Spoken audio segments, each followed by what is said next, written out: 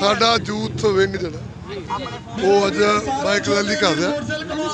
ਉਹਦੇ bike rally ਸਾਰੇ ਹਲਕੇ ਦੇ ਵਿੱਚ ਸਾਰੇ ਹਲਕਿਆਂ ਦੇ ਵਿੱਚ ਚੱਲ ਰਹੀ ਇੱਥੇ ਅੱਜ ਚੱਲੂਗਾ। ਉਹਦੇ ਇਹਨਾਂ ਦਾ ਰੂਟ ਤੈਅ ਹੈ ਜਿੱਦਾਂ ਦੀ ਉਹਨੇ ਜਾਣਾ। ਉਹ ਤੁਸੀਂ ਦੇਖ ਲਓ ਕਿ ਨੌਜਵਾਨਾਂ 'ਚ ਕਿੰਨਾ ਉਤਸ਼ਾਹ ਹੈ ਤੇ ਮੈਂ ਹਦੀ ਝੰਡੀ ਤੇ ਰਿਹਾ ਕਰਦੇ ਹੋ। ਪੂਰੀ ਪੂਰੀ ਰਾਤ। ਪੂਰੀ ਰਾਤ। ਅਗਲਾ ਦੌਰਾ ਕਦੋਂ ਹੋ ਸਕਦਾ? ਹੈ ਕਿੰਨਾ ਕੁ ਉਤਸ਼ਾਹ ਦੇਖ ਰਹੇ ਹੋ ਜੀ? ਕਿਹਦਾ? ਕੇਜਰੀਵਾਲ ਸਾਹਿਬ ਦਾ ਮੈ- ਮੈਨੂੰ ਲੱਗਦਾ ਕਿ 22 23 ਦੇ ਲੱਗੇ। ਕਿਉਂਕਿ ਪਹਿਲਾਂ ਦੂਜੀਆਂ ਸਟੇਟਾਂ ਜਾਣਗੇ ਜਿੱਥੇ ਪਹਿਲਾ ਇਲੈਕਸ਼ਨ ਸਾਡੇ ਫਿਰ ਅਖੀਰ 'ਚ ਆ, ਉਹਦੇ ਹਿਸਾਬ ਨਾਲ ਆਉਣਗੇ ਕੇਜਰੀਵਾਲ ਸਾਹਿਬ ਆਉਣਗੇ। ਨੌਜਵਾਨਾਂ ਦਾ ਉਤਸ਼ਾਹ ਬੜਾ ਲੱਗ ਰਿਹਾ ਜੀ ਨੌਜਵਾਨਾਂ ਦਾ ਬੜਾ ਉਤਸ਼ਾਹ ਲੱਗ ਰਿਹਾ ਨੌਜਵਾਨਾਂ ਦਾ ਵੀ ਸਾਰੇ ਮਸਲੀਆਂ ਦਾ ਉਤਸ਼ਾਹ ਬੜਾ।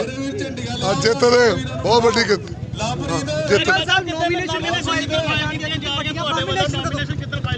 ਮੈਂ ਤੇ 13 ਤਰੀਕ ਨੂੰ ਸਵੇਰੇ 11 ਵਜੇ ਆਪਣੇ ਦਫ਼ਤਰ ਵਿੱਚ ਇਕੱਠ ਕਰਕੇ ਉੱਥੋਂ ਅਸੀਂ ਇਦਾਂ ਹੀ ਤੁਰ ਕੇ ਮਿਲ ਜਿਹੜਾ ਉਹ ਜਾ ਕੇ ਕੋਰਟ ਦੇ ਵਿੱਚ ਡੀਸੀ ਸਾਹਿਬ ਦੀ ਕੋਲ ਚੋਣ ਕਮਿਸ਼ਨ ਦੇ ਪੇਪਰ ਦਾਖਲ ਕਰ ਧਾਰੀਵਾਲ ਸਾਹਿਬ ਲੱਗਦਾ ਕਿ ਸਿੰਪਲ ਤਰੀਕੇ ਦੇ ਨਾਲ ਨੋਮੀਨੇਸ਼ਨ ਕੀਤੇ ਜਾਣਗੇ ਕਿ ਜਿਸ ਤਰ੍ਹਾਂ ਕੱਲ ਬੀਜੇਪੀ ਵੱਲੋਂ ਕਰਵਾਇਆ ਗਿਆ ਉਸ ਤਰ੍ਹਾਂ ਤਿਆਰੀਆਂ ਰਹਿਣਗੀਆਂ? ਨਹੀਂ ਨਹੀਂ ਅਸੀਂ ਜੇ ਮਤਲਬ ਪਹਿਲੀ ਗੱਲ ਤਾਂ ਇਹ ਸੋਚਦੇ ਆ ਕਿ ਮਤਲਬ ਬਿਲਕੁਲ ਸਿੰਪਲ ਨਾ ਕਰੀਏ।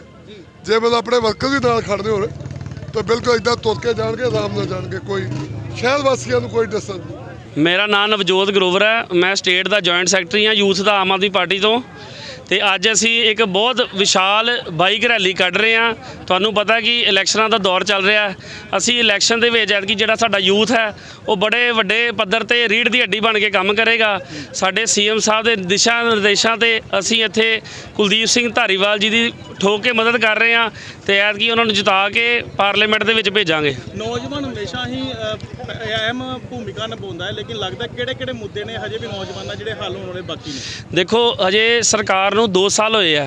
ਹਜੇ ਬੜੇ ਮੁੱਦੇ ਆ ਕਿ ਜਿਹੜੇ ਸਾਡੇ ਸੀਐਮ ਸਾਹਿਬ ਨੇ ਸਟ੍ਰੈਟਜੀ ਬਣਾਈ ਹੋਈ ਹੈ ਕਿ ਇਸ ਇਲੈਕਸ਼ਨ ਤੋਂ ਬਾਅਦ ਸਾਰਾ ਉਹਨਾਂ ਨੇ ਇੱਕ ਵਾਰੀ ਯੂਥ ਦੀ ਸਾਰੀ ਮੀਟਿੰਗ ਸੱਦੀ ਹੋਈ ਹੈ ਜਿਹੜੇ ਜਿਹੜੇ ਮੁੱਦੇ ਉਹਨਾਂ ਨੇ ਉਹਨਾਂ ਦੇ ਨੋਟਿਸ 'ਚ ਹੋਏ ਹੋਏ ਆ ਜਿਵੇਂ ਬੇਰੁਜ਼ਗਾਰੀ ਹੈ ਸਭ ਤੋਂ ਵੱਡਾ ਮੁੱਦਾ ਡਰੱਗ ਹੈ ਨਸ਼ਾ ਵਾ ਇਹ ਜਿਹੜੇ ਇਹਨਾਂ ਨੇ ਆ ਜਿਹੜੇ ਮੁੱਦੇ ਉਹਨਾਂ ਨੇ ਇਹਦੇ ਤੇ ਉਹਨਾਂ ਨੇ ਨਕੇਲ ਕਸਣੀ ਵੀ ਹੈ ਤੇ ਆਉਣ ਵਾਲੇ ਟਾਈਮ ਦੇ ਵਿੱਚ ਉਹਨਾਂ ਨੇ ਉਸ ਦਿਨ ਮੇਰੇ ਨਾਲ ਸ਼ੇਅਰ ਕੀਤਾ ਸੀ ਕਿ ਉਹਨਾਂ ਨੇ ਬੜੀ ਇੰਡਸਟਰੀਆਂ ਨਾਲ ਮੀਟਿੰਗ ਕੀਤੀ ਹੋਈ ਹੈ ਕਿ ਜਿਹੜੇ ਸਾਡੇ ਪੰਜਾਬ ਦੇ ਵਿੱਚ ਆ ਕੇ ਇੱਥੇ ਇਨਵੈਸਟਮੈਂਟ ਕਰਨਗੇ ਕਿ ਸਾਡੇ ਯੂਥ ਨੂੰ ਰੁਜ਼ਗਾਰ ਮਿਲੇਗਾ। ਲੇਕਿਨ ਲੱਗਦਾ ਕਿ ਪੰਜਾਬ ਨੂੰ ਹਮੇਸ਼ਾ ਹੀ ਨਸ਼ੇ ਦੇ ਨਾਲ ਲੈ ਕੇ ਨੌਜਵਾਨਾਂ ਨੂੰ ਬਦਨਾਮ ਕਰਨ ਦੀ ਕੋਸ਼ਿਸ਼ ਨਹੀਂ ਕੀਤੀ ਜਾਂਦੀ। ਹਾਲਾਂਕਿ ਨੌਜਵਾਨ ਕਹਿੰਦੇ ਨੇ ਕਿ ਨਸ਼ਾ ਖਤਮ ਕਰਨ ਲਈ ਕੋਸ਼ਿਸ਼ ਹਰ ਇੱਕ ਸਰਕਾਰ ਜਿਹੜੀ ਕਰਦੀ ਨਜ਼ਰ ਆਉਂਦੀ ਹੈ। ਦੇਖੋ ਮੈਂ ਤੁਹਾਨੂੰ ਭਰਾਵਾਂ ਦੇ ਤੌਰ ਤੇ ਕਿ ਸਾਰਿਆਂ ਨੂੰ ਬੇਨਤੀ ਕਰਾਂਗਾ ਇੱਕ ਵਾਰੀ ਆਪਣਾ ਐਨਾਲਾਈਜ਼ ਕਰੋ ਕਿ ਪੂਰੇ ਵਰਲਡ ਦਾ ਤੇ ਤੁਸੀਂ ਜੇ ਦੇਖੋਗੇ ਸਭ ਤੋਂ ਨਸ਼ਾ ਘੱਟ ਸਾਡੇ ਪੰਜਾਬ 'ਚ ਹੈ।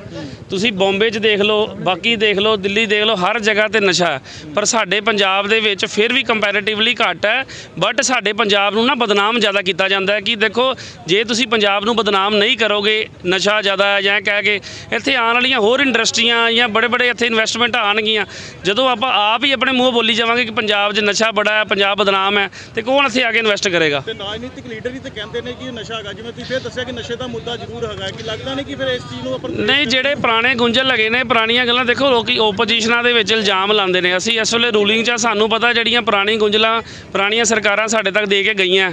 ਉਹ ਖੋਲ੍ਹਣੀਆਂ ਬੜਾ ਔਖਾ ਕੰਮ ਹੈ ਉਹ ਆਉਣ ਵਾਲੇ ਟਾਈਮ ਦੇ ਵਿੱਚ ਸੀਐਮ ਸਾਹਿਬ ਨੇ ਪੂਰੀ ਨਕੇਲ ਕੱਸਣੀ ਹੈ। ਲੇਕਿਨ ਉਹ ਕਹਿੰਦੇ ਕਿ ਨਸ਼ਾ ਦੀ ਤਾਂ ਹੋਮ ਡਿਲੀਵਰੀ ਸ਼ੁਰੂ ਹੋ ਗਈ ਘਰ ਤੱਕ ਨਸ਼ਾ ਪਹੁੰਚਣਾ ਸ਼ੁਰੂ ਤੁਸੀਂ ਦੇਖੋ ਮੇਰੇ ਹਿਸਾਬ ਨਾਲ ਇਹ ਕੱਲ ਕੇ ਪਰਸੋਂ ਇੱਕ ਅਖਬਾਰ 'ਚ ਬਿਆਨ ਲੱਗਾ ਸੀ ਜਿੰਨਾ ਨਸ਼ਾ ਇਸ ਮਹੀਨੇ ਦੇ ਵਿੱਚ ਫੜਿਆ ਗਿਆ ਇੰਨਾ ਕਦੀ ਪੂਰੇ ਪੂਰੇ ਦੇਸ਼ 'ਚ ਨਹੀਂ ਫੜਿਆ ਗਿਆ ਜਿੰਨਾ ਇਹ ਇਸ ਮਹੀਨੇ ਦੇ ਵਿੱਚ ਕੀ ਲੱਗਦਾ ਨਹੀਂ ਫਿਰ ਨਸ਼ਾ ਵਧਿਆ ਵੀ ਹੋਊਗਾ? ਜਿੰਨਾ ਫੜਿਆ ਜਾਵੇ ਕਹਿੰਦੇ ਚਾਰ ਗੁਣਾ ਨਸ਼ਾ ਵਿਕ ਜਾਂਦਾ ਉਸ ਤੋਂ ਬਾਅਦ ਨਾ ਫੜਿਆ ਜਾਂਦਾ। ਨਹੀਂ ਦੇਖੋ ਜੇ ਜੇ ਜੇ ਅੱਜ ਜਿਹੜਾ ਫੜਿਆ ਜਾਂਦਾ ਵਾ ਉਹ ਵੀ ਤੇ ਇੱਕ ਉਪਲਬਧੀ ਹੈ ਨਾ ਕਿ ਜੇ ਨਸ਼ਾ ਫੜਿਆ ਜਾ ਰਿਹਾ ਹੁਣ ਇਹ ਵੱਧ ਵਿਕ ਰਿਹਾ ਨਹੀਂ ਵਿਕ ਰਿਹਾ ਉਹਦੇ ਵਿੱਚ ਦੇਖੋ ਸਾਡੀਆਂ ਏਜੰਸੀਆਂ ਲੱਗੀਆਂ ਸਾਡੀ ਪੁਲਿਸ ਲੱਗੀ ਹੈ ਜੋ ਕਿ ਬਹੁਤ ਇਮਾਨਦਾਰੀ ਨਾਲ ਕੰਮ ਕਰ ਰਹੀ ਹੈ ਆਪਣੇ ਵੱਲੋਂ ਬੈਸਟ ਐਫਰਟ ਕਰ ਰਹੀ ਹੈ ਕਿ ਜਿਹੜਾ ਨਸ਼ਾ ਵਾ ਉਹ ਬਿਲਕੁਲ ਆਪਾਂ ਖਤਮ ਕਰ ਦਈਏ। ਅਨਐਮਪਲੋਇਮੈਂਟ ਤੇ ਕੀ ਕਹਿਣਾ ਚਾਹੋਗੇ? ਬਹੁਤ ਸਾਰੇ ਨੌਜਵਾਨ ਇੱਥੇ ਨੇ ਕਈਆਂ ਨੂੰ ਰੋਜ਼- ਰੋਜ਼ਗਾਰ ਦੀ ਜ਼ਰੂਰਤ ਹੋਏਗੀ। ਕੀ ਲੱਗਦਾ ਹੈ ਕਿ ਸਰਕਾਰ ਕਰੇਗੀ ਜੀ ਰੋਜ਼ਗਾਰ? ਦੇਖੋ ਅਸੀਂ ਆਪ ਅੱਗੇ ਲੱਗੇ ਆ ਯੂਥ ਰਿਪਰੈਜ਼ੈਂਟੇਟਿਵ ਬਣ ਕੇ ਸੀਐਮ ਸਾਹਿਬ ਦੇ ਕੋਲ ਬਹਿ ਕੇ ਉਹਨਾਂ ਨੂੰ ਅਰਜ਼ ਕਰਾਂਗੇ ਕਿ ਆਉਣ ਵਾਲਾ ਟਾਈਮ ਜਿਹੜਾ ਵਾ ਯੂਥ ਸਾਡਾ ਭਵਿੱਖ ਹੈ।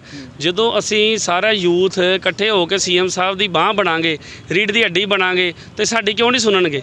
ਜਦੋਂ ਇਹ ਸੀਐਮ ਸਾਹਿਬ ਨੂੰ ਦੱਸਾਂਗੇ ਕਿ ਸਾਡੇ ਯੂਥ ਭਰਾ ਬੇਰੁਜ਼ਗਾਰ ਹੈ, ਕਿਸੇ ਕਰਕੇ ਬੇਰੁਜ਼ਗਾਰ ਹੈ, ਉਹਨਾਂ ਦਾ ਆਉਣ ਵਾਲੇ ਟਾਈਮ ਦੇ ਵਿੱਚ ਇੰਡਸਟਰੀ ਵੱਲ ਬਹੁਤ ਧਿਆਨ ਹੈ।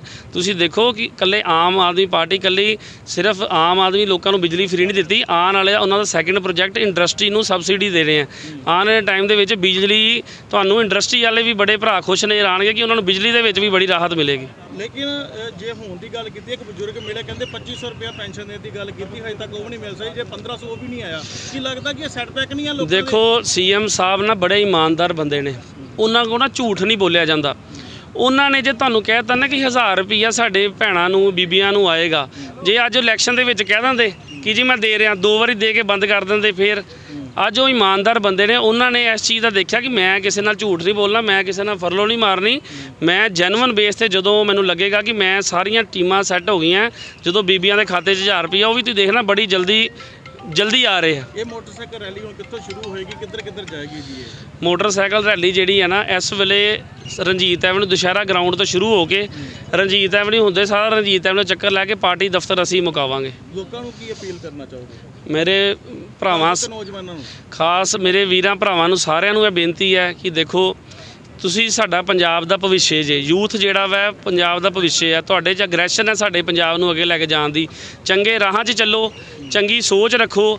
ਇਹ ਨਾ ਸੋਚੋ ਕਿ ਪੰਜਾਬ ਸਿਰਫ ਲੀਡਰ ਹੀ ਸਵਾਰਨਗੇ।